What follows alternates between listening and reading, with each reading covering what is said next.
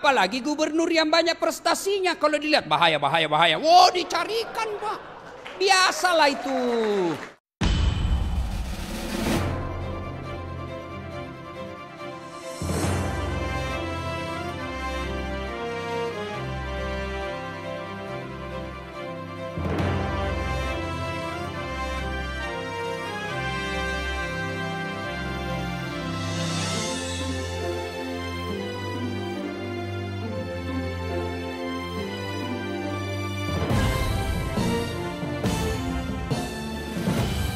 Cuma dibully pak, Pak Gub dibully di medsos kecil men, kecil. Ya wajar lah Pak Gubernur dibully. Namanya gubernur, security aja dibully pak.